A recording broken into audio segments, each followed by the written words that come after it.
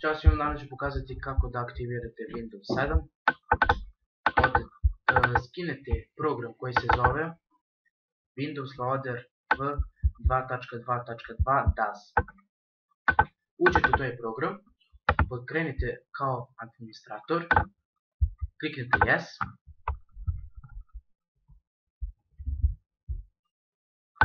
и кликнете Install. Кеј е Кликнете Install, Čekajte malo. To je najbolji program koji uvijek sam koristio, da je program nikakve probleme nisam imao.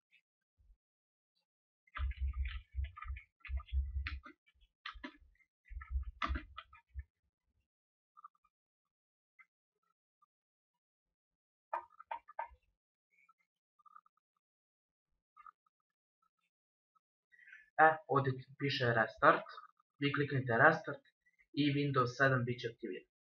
Hvala što ste gledali ovaj klip, valjda ste našli naučili. Ćao!